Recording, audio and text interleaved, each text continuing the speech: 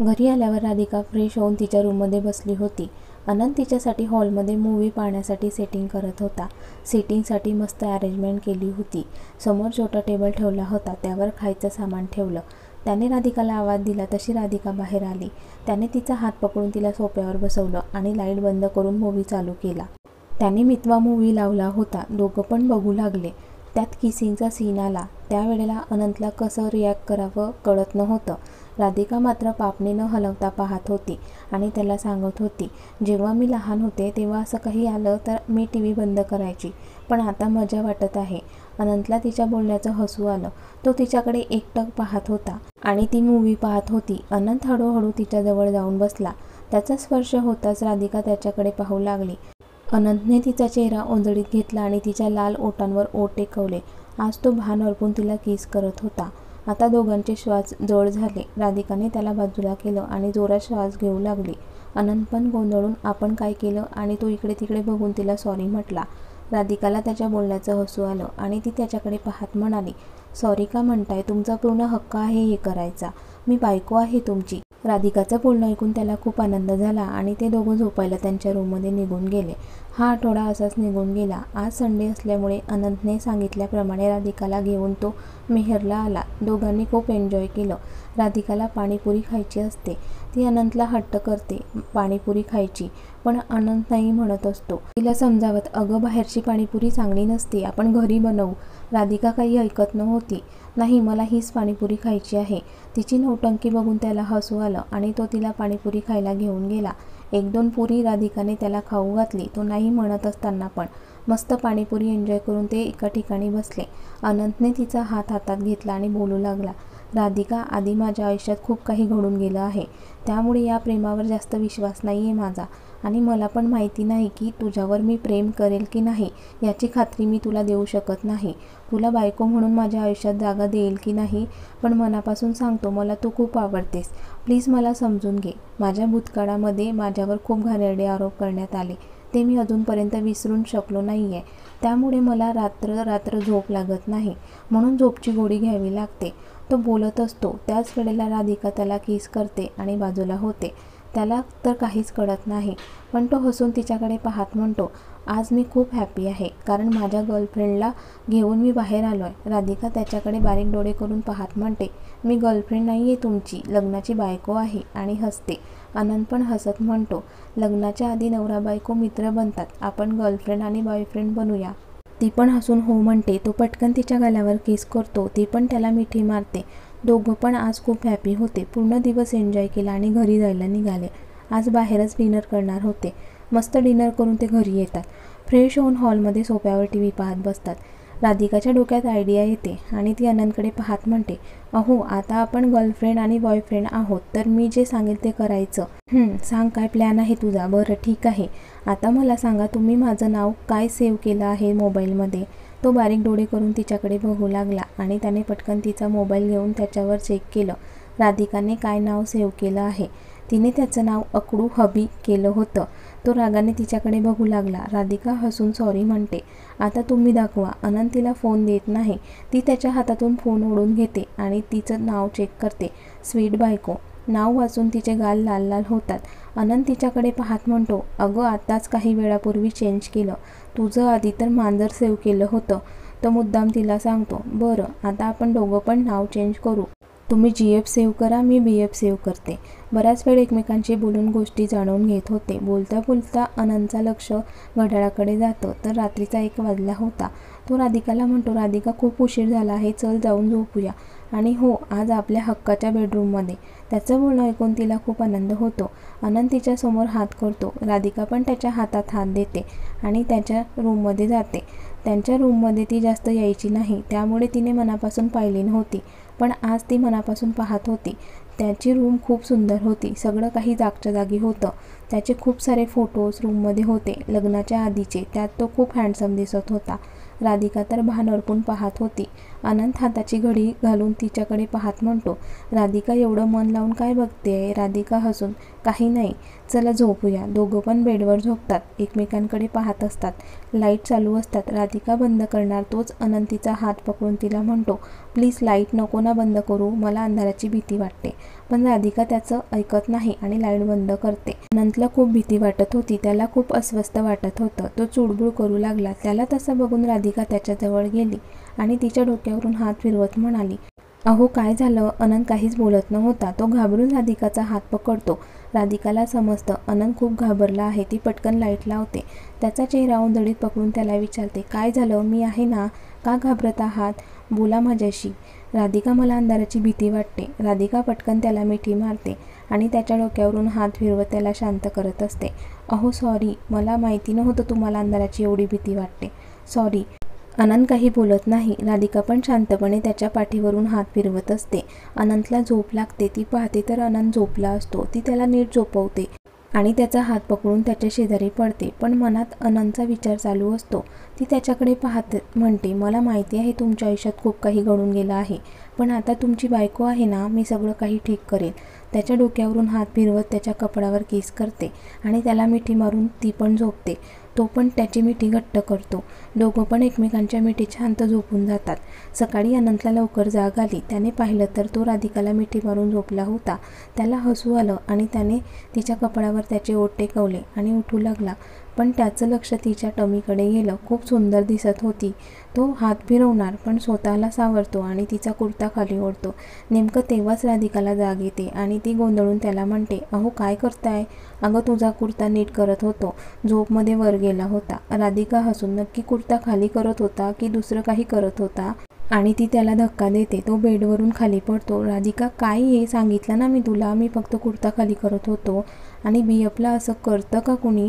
अहो आपण जी एफ बी एफ होऊन अजून काहीच तास झाले आणि तुम्ही हे असं वागताय माझ्याशी? अगं राधिका तू समजते तसं काही नाही आहे राधिका त्याचं काही न ऐकता फ्रेश होण्यासाठी निघून जाते. इकडे खाली पडल्यामुळे त्याला बॅक पेन होत होतं. तो हळूहळू उठतो आणि त्याचा आवरायला निघून जातो. तो खाली जोरात पडल्यामुळे त्याला त्रास होत होता. अनंत त्याचा आवरून हॉलमध्ये येतो. दोघं शांतपणे नाश्ता करतात. एकमेकांशी काहीच बोलत नाही आणि ते हॉस्पिटलला जायला निघतात. त्यांच्या कामात बिझी झाले. त्याला आज बरेच पेशंट अटेंड करायचे होते आणि पडल्यामुळे त्याला त्रास पण होत होता. तोच तिथे हात लावून दाबत होता. तोच डॉक्टर केतनचं लक्ष त्याच्याकडे जातं आणि ते अनंतला विचारतात अनंत काही झालं आहे का? अरे हो ते राधिका. आणि तो बोलायचं थांबतो. केतन हसत म्हणतो अरे बापरे माझ्या मित्राला वहिनीने त्रास दिला वाटतं. म्हणून बॅक पेन होत आहे अनंत त्याच्याकडे बारीक डोळे करून पाहतो. केतन हसत त्याचं काम करायला निघून जातो. राधिका पण बिझी होती. तोच एक पेशंट ॲडमिट होतो. राधिका सगळं काही हँडल करत असते. तोच तिथे अनंत येतो. राधिकाबद्दल ऐकून त्याला बरं वाटतं.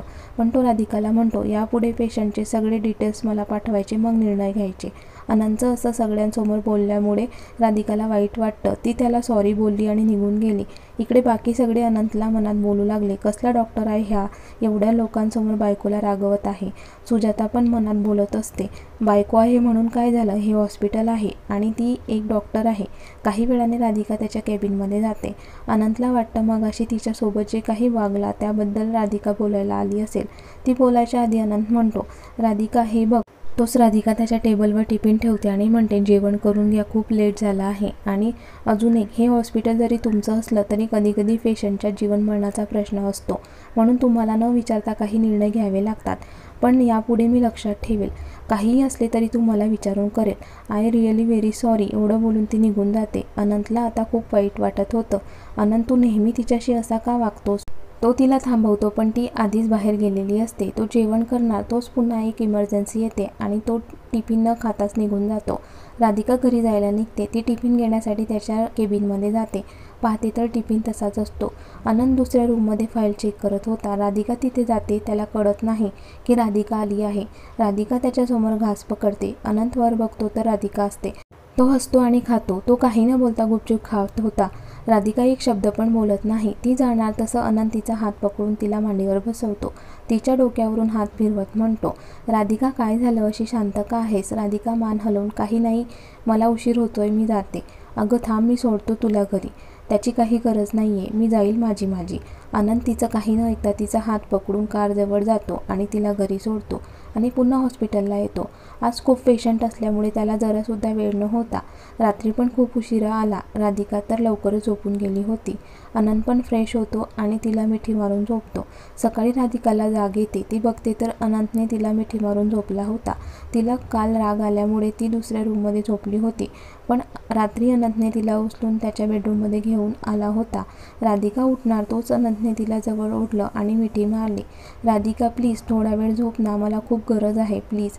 राधिका रागाने तुम्ही झोपा मला तर हॉस्पिटलला जावं लागेल. हॉस्पिटल माझ्या नवऱ्याचं असलं म्हणून काय झालं? रूल ते रूल असतात. तिचं बोलणं ऐकून अनंत उठून बसला.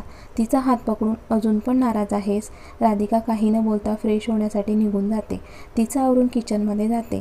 अनंत पण त्याचा आवरून खाली येतो. ती नाश्ता बनवत होती. अनंत किचनमध्ये येतो आणि तिला मागून मिठी मारतो आणि त्याचे ओटीच्या तिच्या मानेवर फिरवू लागतो. राधिका त्याला रागाने म्हणते तुमचं काय सुरू आहे अनंत हसून माझं प्रेम करणं सुरू आहे. माझ्या बायकोवर प्रेम करतोय मी. राधिका फिरून कमरेवर हात ठेवून त्याच्याकडे बारीक डोळे करून पाहत म्हणते मी तर जीएफ आहे तुमची बायको कधी झाले? आणि हे काय कधी मला दूर करतात तर कधी माझ्याजवळ येण्याचा प्रयत्न करतात? अगं राधिका काय बोलते तू? तुम्ही पण दुसऱ्या पुरुषांसारखे आहात. बायको दिसली की चान्स मारायचा. तिचं बोलणं ऐकून त्याला राग येतो. तो तिला जवळ ओढतो आणि तिच्या ओटांवर ओठ टेकवतो आणि जोरजोरात किस करतो. बराच वेळ अनंत किस करत होता. आणि नकळत का होईना राधिका पण त्याला साथ देत होती. तोच तिचा फोन वाजतो. त्या आवाजाने ते भानावर येतात. अनंत तिच्याशी काही न बोलता निघून जातो. नाश्ता पण करत नाही. राधिका विचार करत म्हणते माझं पण चुकलं. मी असं नको होतं बोलायला. पण ठीक आहे आता माझ्या आकळू बी एफला पटवावं लागेल. त्यासाठी काहीतरी केलं पाहिजे राधिका. ती पण तिचावरून हॉस्पिटलला निघाली. पडतच हॉस्पिटलला येते. बाहेर गेटजवळ उभी राहते आणि जोरजोरात श्वास घेत होती. इकडे अनंत लॅपटॉपवर त्याचं काम करत होता. तो सहज म्हणून C C T V check करतो. त्याला राधिका दिसते. त्याला समजतं ही घाई गडबडीत आली आहे.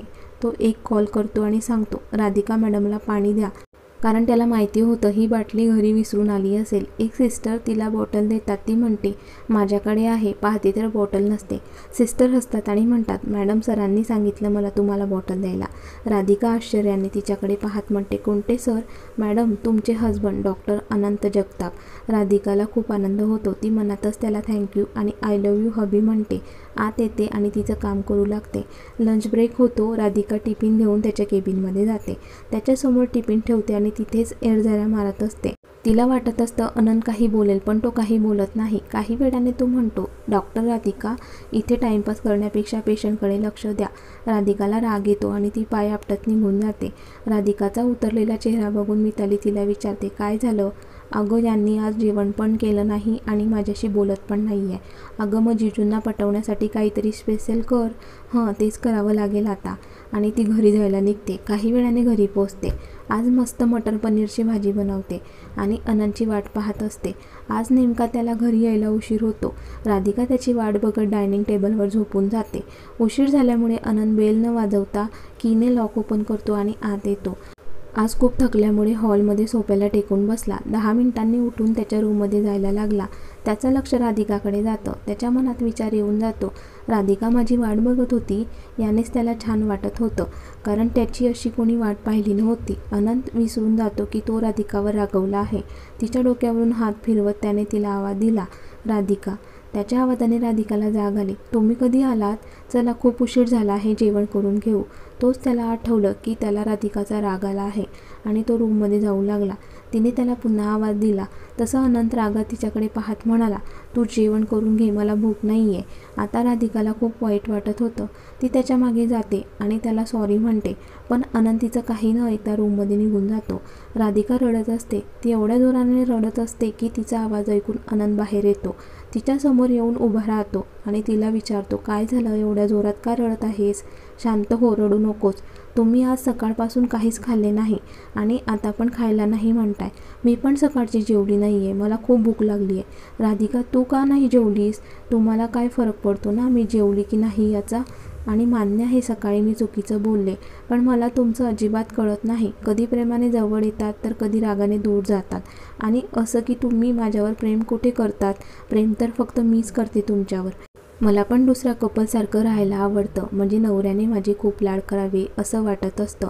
नवीन नवीन गोष्टी घेऊन द्यायला पाहिजे. तिला न सांगता कुठेतरी बाहेर घेऊन जायला पाहिजे. वेगवेगळे सरप्राईज द्यायला पाहिजे. आनंद शांतपणे तिचं बोलणं ऐकत होता. माझे बरे स्वप्न आहे. मला बाहेर मूवी बघायला घेऊन जाणं. मूवी बघताना त्या अंधारात रोमांस करावं. ती बोलतच असते. तोच अनंतीच्या ओटांवर बोट ठेवून म्हणतो राधिका मी तुला आधी सांगितलं होतं की माझ्याकडून तुला प्रेम वगैरे काही भेटणार नाही. तुम्ही तर बोलून मोकळा झालात पण माझं काय मी काय करायचं? अनंत वैतागत जा तुला काय करायचं ते कर. जा तुला जे करायचं आहे ते कर. राधिका पुन्हा रडायला लागते. तिचं रडणं बघून अनंत तिला मिठी मारतो आणि तिच्याशी शांततेत बोलू लागतो. राधिका प्रेम म्हणजे काय? यातलं मला काहीच माहिती नाही. माझ्यावर फक्त रमा मावशीने प्रेम केलं आहे. तिच्या व्यतिरिक्त कोणीच नाही. बाकीच्यांनी माझ्या प्रेमाचा खेळ मांडला होता ग. आणि मान्य आहे माझ्याकडून तुला त्रास होत आहे. कधी तुला जवळ करतो तर कधी लांब. पण खरं सांगू राधिका आधीचे काही दिवस असे गेले आहेत माझे ते मलाच माहिती आहे. मी जिवंत असून मेलेल्यासारखं आयुष्य जगत होतो. आता कुठे त्यातून मी बाहेर पडलो होतो. सगळं विसरून नव्याने जगायला सुरुवात केली होती मी. त्याचं बोलणं ऐकून राधिका मिठी घट्ट करते आणि त्याच्या पाठीवरून हात फिरवत असते. राधिका मला समजतं तुला माझ्याकडून काय पाहिजे आहे ते. पण मला या गोष्टीसाठी वेळ हवा आहे आणि मला तुला काहीतरी सांगायचं आहे. राधिका त्याच्या डोळ्यात बघून म्हणते आधी जेवण करून घेऊ मग बोलू. चला जेवायला. त्याच्या गालावर किस करून ती किचनमध्ये निघून गेली. अनंतला हसू येतं तो तिला सॉरी म्हणतो. राधिका पण त्याला सॉरी म्हणते आणि जेवायला वाढते. दोघं एकमेकांना भरवत जेवण करतात आणि झोपायला जातात. एकमेकांना मिठी मारून शांत झोपतात.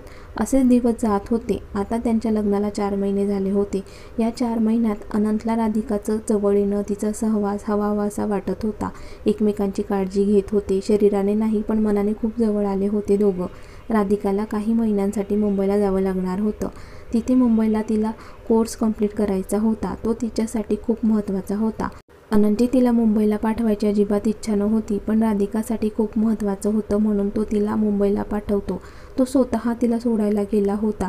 रस्त्यात तिला सांगत होता नीट लक्ष देऊन कंप्लीट कर खूप काय काय तिला सांगत होता त्याची बडबड चालू होती. राधिका पटकन त्याच्या ओटांवर ओट टेकवते आणि बाजूला होते. अनंतर ब्लँक होतो कारण खूप दिवसानंतर तिच्या नाजूक ओटांचा स्पर्श झाला होता. त्याच्या मनात पण विचार येऊन गेला. राधिकाला असं वाटत आहे ना आताच तुला घट्ट मिठी मारावी आणि किस करावं. पण तो त्या गोष्टी दुर्लक्ष करतो आणि ड्राईव्ह करतो. काही वेळाने ते फ्लॅटला पोहोचतात. अनंतचा मुंबईमध्ये पण फ्लॅट असतो. राधिका तिथे राहणार होती. फ्लॅट खूप सुंदर होता. राधिकाला खूप आवडतं. अनंत तिच्याशी बोलून पुण्याला यायला निघतो. राधिका नाराज होते. तोच अनंत मागे वळून पुन्हा तिच्याजवळ येतो आणि तिच्या कपाळावर किस करून तिला घट्ट मिठी मारतो. आणि तिला सांगतो एकटी राहणार आहेस काळजी घे तुझी. एवढं बोलून तो निघून जातो. आज काहीच नसल्यामुळे राधिका आराम करत असते. तिला दुसऱ्या दिवशी कोर्सला जायचं असतं. सकाळी लवकर उठून तिचं आवरून ती रिलायन्स हॉस्पिटलला जायला निघाली. काही वेळातच तिथे पोचली तिथे तिच्यासारखे बरेच कोर्स करायला आले होते. राधिकाने ओळख करून घेतली. त्यात तिला तीन चार फ्रेंड्स मिळाले. तिच्या क्लासमध्ये जवळजवळ पन्नास ते साठ डॉक्टर्स होते. आज त्यांना कोर्सबद्दल सांगितलं जात होतं. आज जास्त न काही नसल्यामुळे त्यांना लवकरच सोडलं. राधिका घरी आली फ्रेश होऊन अनंतला कॉल करून सांगितलं क्लासमध्ये काय काय झालं ते? बराच वेळ दोघं बोलत होते. काही वेळाने ते फोन ठेवतात आणि जेवण करून झोप झोपून जातात. दुसऱ्या दिवशी राधिकाला उशिरा जाग येते. ती पटकन तिचं आवडते आणि हॉस्पिटलला जायला निघते. आज त्यांचे ग्रुप करणार होते. राधिका घाईघाईमध्ये येत होती. डोक्यात वेगळे विचार चालू असल्यामुळे तीन ते चार व्यक्तींना धडकते. त्यांना सॉरी बोलून पुढे जातच असते की पुन्हा कुणाला तरी धडकते. ती त्याला बघून सॉरी म्हणते. पण तो राधिकाकडे भान हरपून पाहत होता. तो पण खूप हँडसम दिसत होता पण राधिका त्याच्याकडे लक्ष देत नाही आणि निघून जाते. तो मात्र तिलाच पाहत असतो. कसली सुंदर आहे ही अगदी परीसारखी. राधिका क्लासमध्ये येते आणि तिच्या फ्रेंडसोबत बोलत असते. तोच तो हँडसम मुलगा येतो ज्याला राधिका मगाशी धडकली होती. तो बोलू लागला हॅलो एव्हरीवन मी डॉक्टर श्याम. आणि तो बोलू लागतो आणि सगळ्यांना एक एक करून त्यांची माहिती विचारत असतो. पण त्याचं लक्ष राधिकावर असतं. तिचा नंबर येतो तसा तो चमकून तिच्याकडे पाहतो. राधिका बोलायला लागते मी डॉक्टर राधिका जगताप. तिचं नाव ऐकून त्याच्या चेहऱ्यावर हसू येतं. असंच त्यांचा दिवस निघून जातो. कोण असेल डॉक्टर श्याम? त्याला राधिका आवडली असेल का? बघूया पुढील भागात. आणि कथेचा हा भाग कसा वाटला कमेंट्स करून नक्की कळवा. आणि व्हिडिओला लाईक शेअर आणि लाईव्ह मराठी स्टोरीज चॅनलला सबस्क्राईब करायला विसरू नका. धन्यवाद.